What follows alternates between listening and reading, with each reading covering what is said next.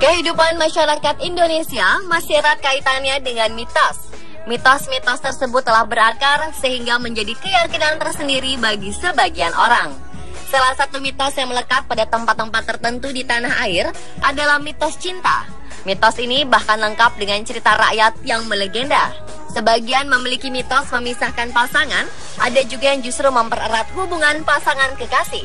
Mitos tersebut terus bergulir dari generasi ke generasi sehingga menghasilkan daya tarik tersendiri bagi pelancong. Kami telah merangkum mitos-mitos tersebut dalam tujuh tempat mitos cinta di Indonesia versi on the spot.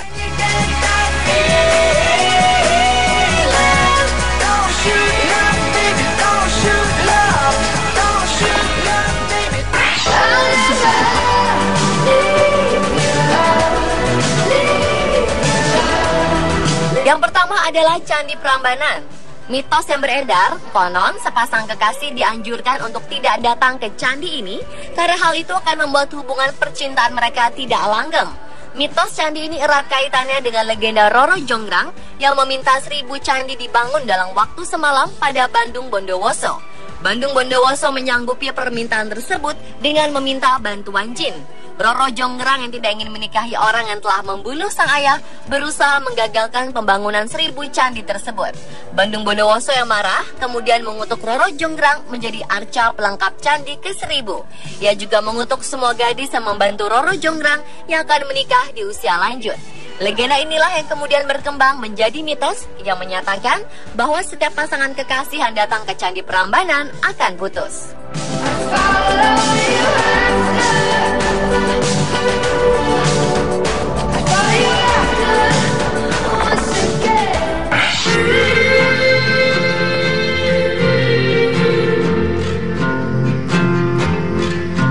Berikutnya adalah mitos yang melekat pada tanjakan cinta di Gunung Semeru. Para pendaki gunung pasti akrab dengan tempat satu ini. Tanjakan ini punya mitos. Berdasarkan legenda tragis seorang pendaki wanita, di tempat ini para pendaki dilarang untuk menoleh ke belakang. Tanjakan cinta merupakan jalan setapak menuju bukit dengan kemiringan sekitar 45 derajat. Letaknya tepat setelah Ranu Kumbolo menuju Oro-Oro Ombo. Saat melewati tanjakan cinta, para pendaki dihimbau untuk tidak menoleh ke belakang. Karena jika kita menoleh, konon Anda akan putus cinta. Menurut legenda, ada dua sejoli yang sudah bertunangan mendaki Gunung Semeru. Saat lewat tanjakan ini, sang pria jalan lebih dulu dan tiba di atas bukit tanpa menoleh sedikit pun ke belakang. Namun sang perempuan keletihan, jatuh terguling, kemudian meninggal dunia. Itulah kenapa mitos yang beredar pendaki yang memikirkan pasangannya dan berhasil melewati tanjakan cinta tanpa menoleh ke belakang akan berjodoh dan cintanya akan abadi. Sebaliknya, kalau di tengah jalan yang menoleh ke belakang, hubungan percintaan konon akan putus.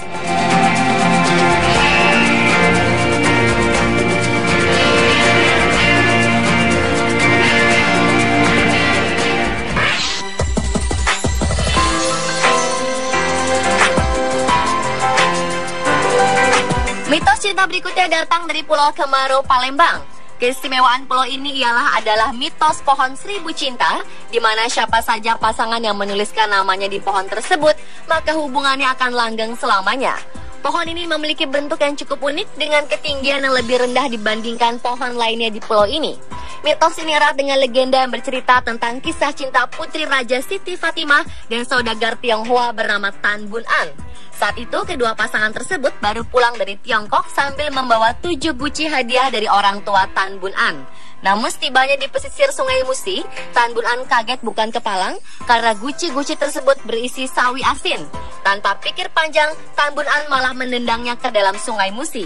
Tapi guci terakhir ternyata pecah di dek kapal dan berisi hadiah yang diyakini emas. Tan Bun lalu menyebur ke air untuk mencari guci-guci tadi. Namun ia tak kunjung muncul ke permukaan. Melihat itu, Siti Fatimah juga ikut menceburkan diri ke air demi mencari kekasihnya. Naas, mereka semua justru tak muncul ke permukaan air dan konon muncullah Pulau Kemaro di tempat mereka menghilang. Siti Fatimah yang menyelam ke air demi menemukan Tan Bun diyakini sebagai lambang cinta sejati.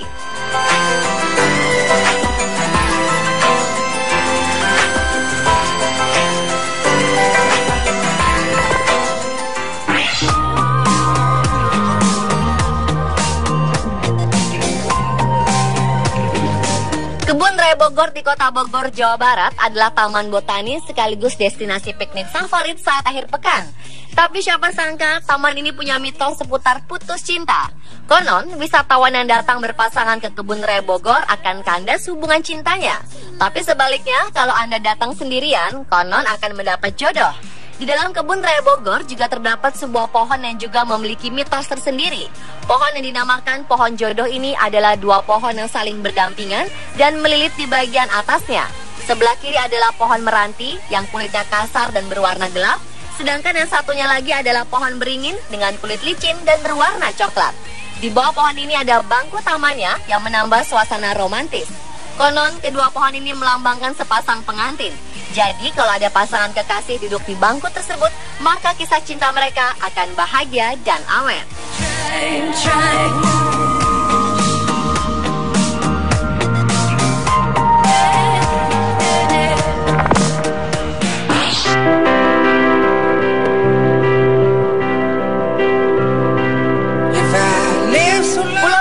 menjadi salah satu bagian dari Kepulauan Seribu adalah pulau yang memiliki keindahan yang membuat wisatawan tertarik untuk mengunjunginya. Tapi siapa sangka ada sebuah mitos yang turut menjadi daya tarik pulau ini. Di Pulau Tidung terdapat sebuah jembatan yang cukup terkenal di kalangan pelancong. Jembatan tersebut dikenal dengan sebutan Jembatan Cinta. Jembatan ini spesial karena konon bisa membuat hubungan suami istri atau dengan kekasih akan abadi. Ada dua mitos yang dipercayai di jembatan yang memiliki panjang 800 meter ini. Pertama, banyak yang percaya jika seseorang menyeberangi jembatan dengan pasangan, maka cinta mereka akan abadi. Versi yang kedua adalah mitos melompat dari atas jembatan bersama pasangan. Para pengunjung percaya bahwa apabila mereka melakukannya, maka cinta mereka akan abadi.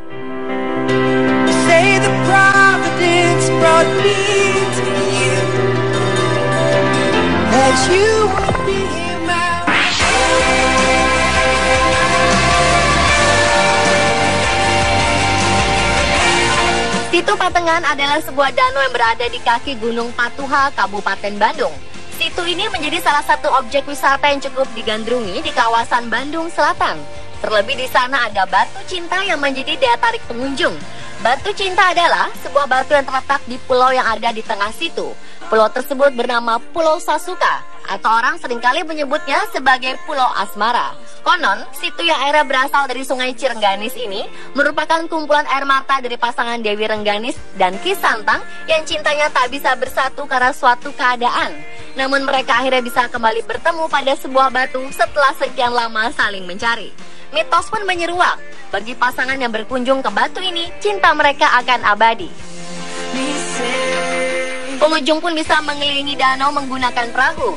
Sama halnya dengan legenda batu cinta, konon jika pasangan ini mengelilingi situ ini akan diberikan kelanggengan.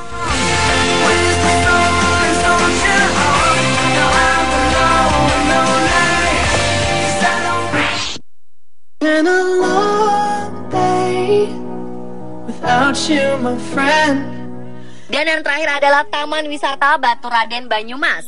Mitos yang berkembang di tempat wisata ini adalah apabila ada seseorang pergi berpasangan dengan kekasihnya ke Batu Raden, konon cinta mereka akan putus di tengah jalan. Mitos putus cinta yang ada di tempat ini berasal dari cerita zaman dahulu, di mana ada seorang anak bupati atau raden yang menjalin asmara dengan anak pelayan. Namun hubungan mereka ditentang. Mereka berdua kemudian memutuskan jalinan asmara mereka di sebuah hutan yang kemudian dinamakan Batu Raden. Karena itulah diyakini pasangan kekasih yang datang ke Batu Raden akan memiliki nasib percintaan yang serupa.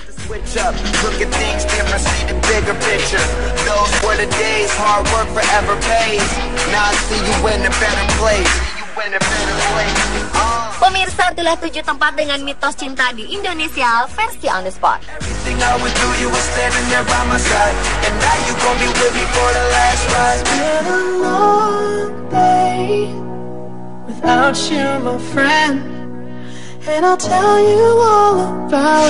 akan mendapat jodoh. Di dalam kebun raya Bogor juga terdapat sebuah pohon yang juga memiliki mitos tersendiri. Pohon yang dinamakan pohon jodoh ini adalah dua pohon yang saling berdampingan dan melilit di bagian atasnya. Sebelah kiri adalah pohon meranti yang kulitnya kasar dan berwarna gelap, Sedangkan yang satunya lagi adalah pohon beringin dengan kulit licin dan berwarna coklat. Di bawah pohon ini ada bangku tamannya yang menambah suasana romantis. Konon, kedua pohon ini melambangkan sepasang pengantin. Jadi, kalau ada pasangan kekasih duduk di bangku tersebut, maka kisah cinta mereka akan bahagia dan awet. If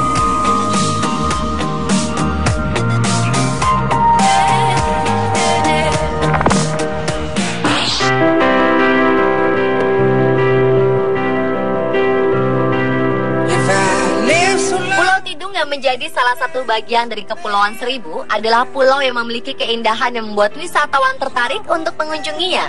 Tapi siapa sangka ada sebuah mitos yang turut menjadi daya tarik pulau ini. Di Pulau Tidung, terdapat sebuah jembatan yang cukup terkenal di kalangan pelancong. Jembatan tersebut dikenal dengan sebutan Jembatan Cinta. Jembatan ini spesial karena konon bisa membuat hubungan suami istri atau dengan kekasih akan abadi. Ada dua mitos yang dipercayai di jembatan yang memiliki panjang 800 meter ini.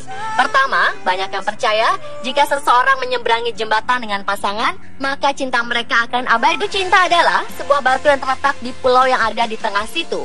Pulau tersebut bernama Pulau Sasuka atau orang sering kali menyebutnya sebagai Pulau Asmara. Konon, situ yang airnya berasal dari sungai Cirengganis ini merupakan kumpulan air mata dari pasangan Dewi Rengganis dan Ki Santang yang cintanya tak bisa bersatu karena suatu keadaan. Namun mereka akhirnya bisa kembali bertemu pada sebuah batu setelah sekian lama saling mencari. Mitos pun menyeruak, bagi pasangan yang berkunjung ke batu ini, cinta mereka akan abadi. Pengunjung pun bisa mengelilingi danau menggunakan perahu. Sama halnya dengan legenda batu cinta, konon jika pasangan ini mengelilingi situ ini akan diberikan kelanggengan.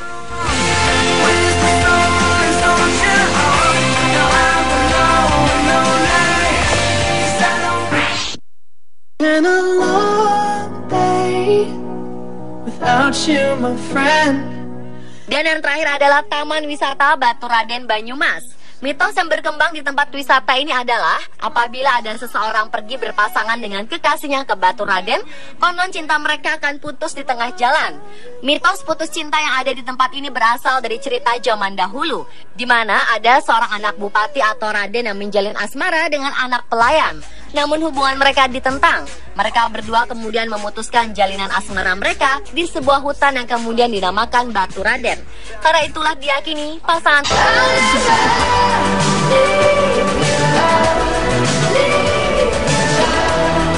Yang pertama adalah Candi Prambanan.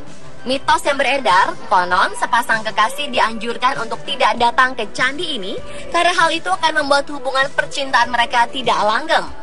Mitos candi ini erat kaitannya dengan legenda Roro Jonggrang yang meminta seribu candi dibangun dalam waktu semalam pada Bandung Bondowoso. Bandung Bondowoso menyanggupi permintaan tersebut dengan meminta bantuan jin. Roro Jonggrang yang tidak ingin menikahi orang yang telah membunuh sang ayah berusaha menggagalkan pembangunan seribu candi tersebut. Bandung Bondowoso yang marah kemudian mengutuk Roro Jonggrang menjadi arca pelengkap candi ke seribu. Ia juga mengutuk semua gadis yang membantu Roro Jonggrang yang akan menikah di usia lanjut. Legenda inilah yang kemudian berkembang menjadi mitos yang menyatakan bahwa setiap pasangan kekasih yang datang ke Candi Prambanan akan putus. Berikutnya